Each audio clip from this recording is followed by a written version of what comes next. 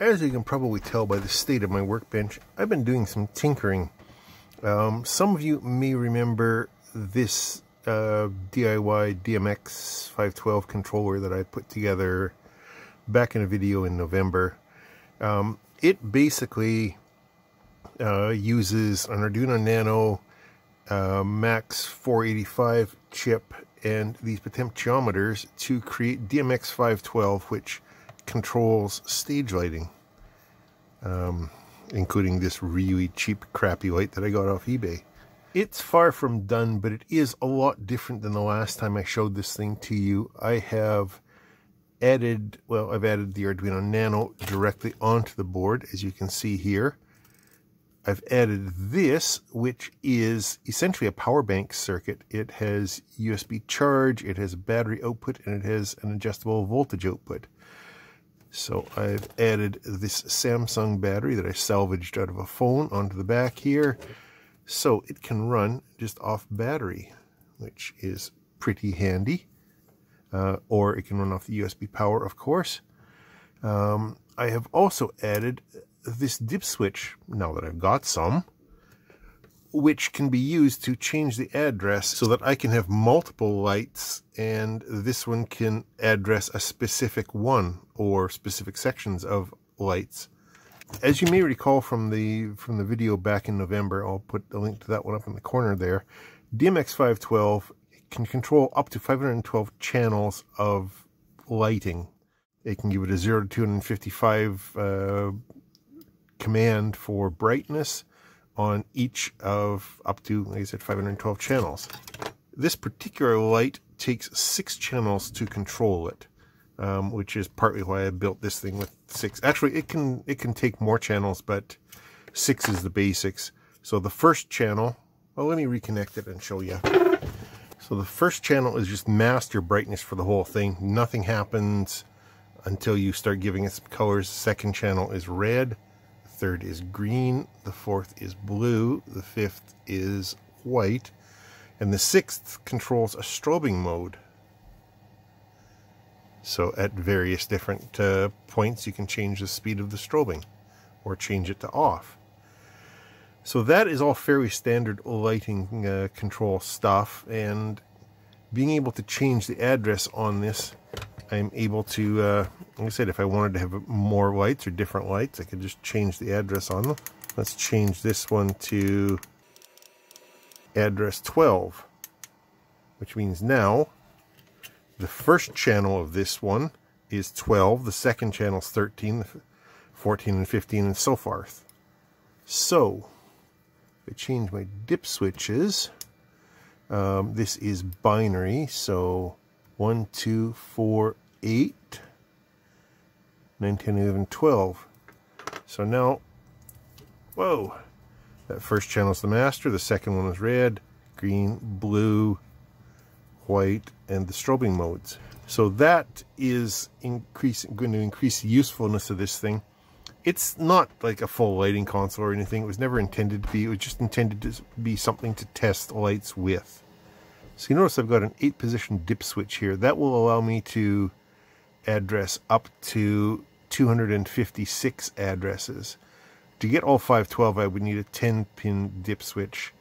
And I don't have any of those, but I don't think that's going to be a problem for for me, um, just because I'm not going to be doing huge light shows with this. Again, it's just a test device. The other thing that you may have noticed is this ribbon cable going off to these little buttons. Yeah, these buttons, I like them.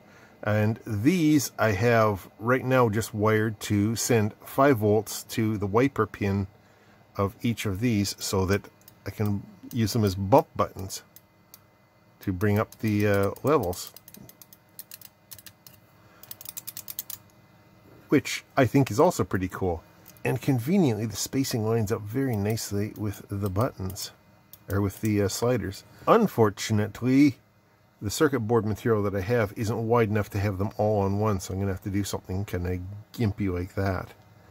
But that's not the only unfortunate thing going on here.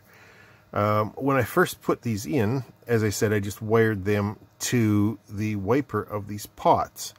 And unfortunately, if the pot's pulled all the way down, sending 5 volts to it shorts the power supply and kills it. Luckily, this thing is fairly well protected, so it recovers. You just got to power cycle it.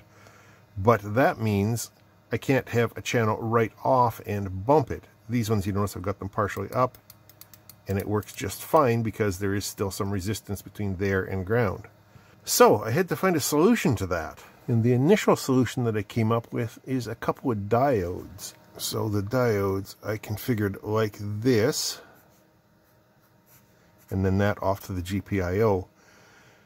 So that does isolate it, but unfortunately, uh, the voltage drop across the diodes seems to be causing trouble.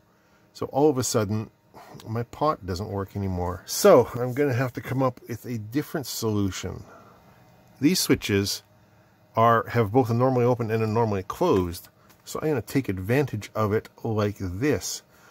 Wire the normally closed straight from the pot through to the GPIO pin. And then on the normally open have the 5 volts so that... I drew that wrong.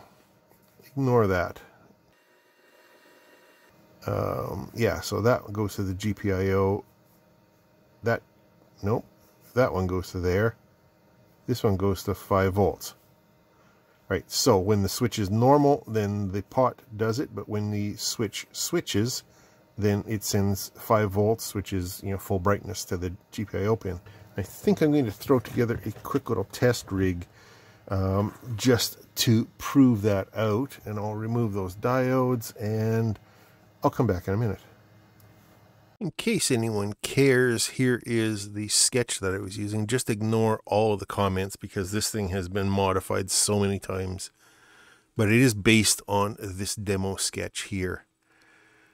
So we uh, start the library. I've set my my universe size. Universe size is the number of uh, devices, number of channels that this particular uh, controller can address. So I've just told it to max out at 255. I set the uh, brightness uh, variable to zero to start with. Fade amount is that's just left over something else. Uh, I set an address, and then in setup, I set the uh, digital inputs that are being used for that dip switch all to pull-ups. And then I read each one of them. This is still in the setup, so this happens once at the beginning of the program, and it stays that way until you power cycle it. So I just go through each of the bits and uh, add them to the address with whatever the bit weighting is. So the one that's connected to GPIO 2 is uh, the 128's position. The one that's connected to GPIO 9 is the 1's position. Quick and simple way and really inefficient way of creating a, a non-binary number out of binary, but it does the job. Then down just before the loop, we begin the DMX, which is, you know, a library call, right? Uh, then I do a set of analog reads, uh, set all the brightnesses. Uh, because the analog read is uh, maxes out at 1024 and the DMX maxes out as a uh, value at 256, I just divide it by 4. You could map it as well, but this is just as easy and then here is what does the thing. DMX begin transmission, so tell the library that you're about to send values, and then DMX write and the base address. So the base address is where the thing starts, um, based on this ad up here. So that is channel one, or the first potentiometer. Uh, and I assign just brightness 1 value to that. And then address plus 1 is the second potentiometer. That goes to channel to the uh, value that we read up here, and so on all the way through. Then end transmission, 5 millisecond delay, just so that things have a chance to settle down. And then that hits the end of the loop. Not much to it, and it could be a whole bunch shorter if I was, uh, you know, capable of writing more efficient code. But this works and it's easy to understand. All right, so back again, I have connect disconnected the uh, button board from the first pot, which is the uh, main brightness, the overall brightness. I've connected that, disconnected that pot, and I have this little test fixture down here scabbed in. I've got plus and minus voltage coming down here, minus to the bottom end of the pot, plus to the top end of the pot, um, plus 5 volts also to the button, and then the normally open and normally close of the button wired up as I showed you there, and then that control output coming to here, which goes down to the analog input. So if I vary the pot, then the overall brightness happens. But if I push the button, that bumps the whole light to full brightness, or at least as full as these pots allow for anyways. I've got them all kind of turned down so that you can actually see the brightness change when I tap the button. And then I've still got my master there.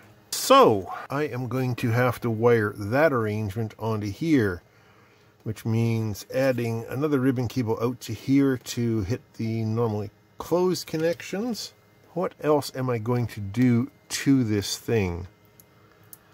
Well, I am going to 3D print a case for it, which makes sense. And I've already done a little bit of CAD, and unfortunately, that has come up short because I'm not very good at CAD. So as you can see, I've got the 12 slots, but for whatever reason, I didn't measure quite right. So I'm off by, you know, like half a millimeter by e on each one until I get to the end. So that kind of sucks. And then the cutout for the dip switch looks like it's in pretty much the right spot. The cutout for the LED is in the right spot, but the cutout for the switch missed by a few millimeters. So that's a good uh, demonstration of why when you're doing this, it's not a bad idea to just print out a sample piece. This isn't the entire case. Um, it's not even the entire lid, but it's uh, it was fairly quick. I only printed it like three layers thick, just enough to you know stay intact when I get it off the bed. now I can use that as a template, and I can retake some measurements and try again.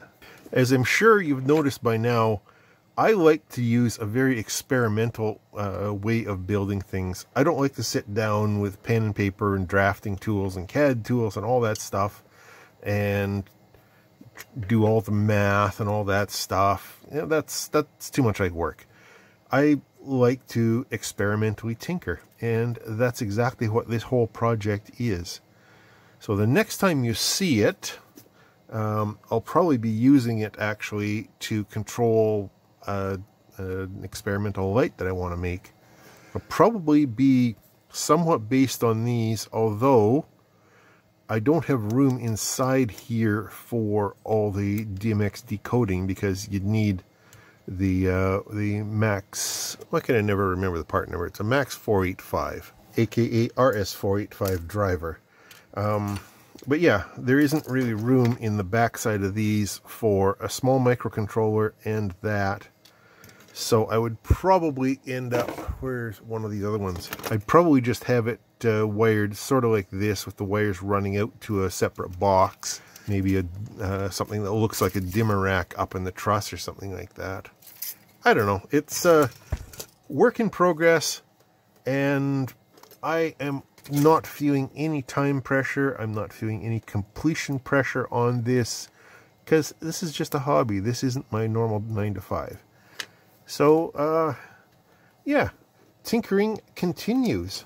So I hope you uh, found that slightly interesting. Um, questions and comments down below as usual. Hopefully I'll have something a little bit more uh, satisfying next time. Anyways, it, it, was fun for me, so I don't really care. Uh, yeah, talk to you later.